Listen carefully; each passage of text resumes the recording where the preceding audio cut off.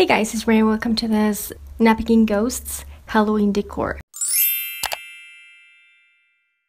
So I'm going to be using a bunch of napkins and I'm going to start by squeezing one in the shape of a ball and that is going to be the head of the ghost. Then I'm going to be using another napkin and I'm going to cover that one and that is going to be the body of the ghost. Grab the head part, go around with some thread to just secure that part and I'm just going to knot it.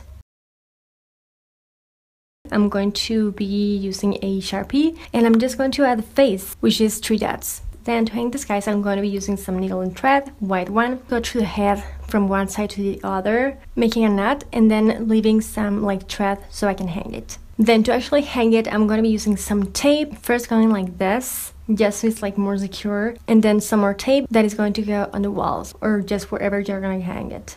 And yeah guys, this is pretty much the idea that I wanted to share. It's actually really easy, fast, affordable, and they look cute, handy if you want to like kind of decorate your office, room for Halloween parties. I found this idea online, but they use actually candy as opposed to the cleanings that I use for the head. But yeah, I really hope you like them. If you did, don't forget to give this video a thumbs up. Check out more DIYs and like Halloween stuff that I have on my channel. Subscribe for more. Let me know what you think of these ones and share it. Thank you so much for watching. I'll talk to you later and take care. Bye!